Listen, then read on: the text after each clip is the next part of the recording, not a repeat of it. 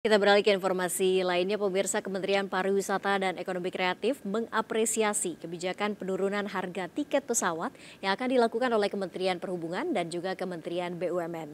Turunnya harga tiket pesawat ikut mendongkrak tentunya sektor pariwisata dan ekonomi kreatif yang tengah bangkit di tengah pandemi.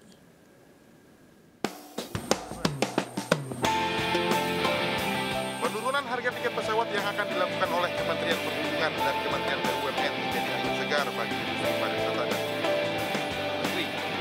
Menparekraf Sandiaga Salahuddin Uno berharap kebijakan ini terus diterapkan sehingga harga tiket pesawat tetap terjangkau, terutama saat memasuki masa-masa puncak liburan akhir tahun.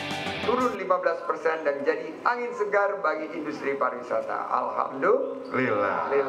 Dan ini kita harus hargai upaya Kementerian Perhubungan dan Kementerian BUMN juga para stakeholders yang terkait dalam waktu yang cukup singkat adanya penurunan harga tiket pesawat sangat diapresiasi oleh masyarakat.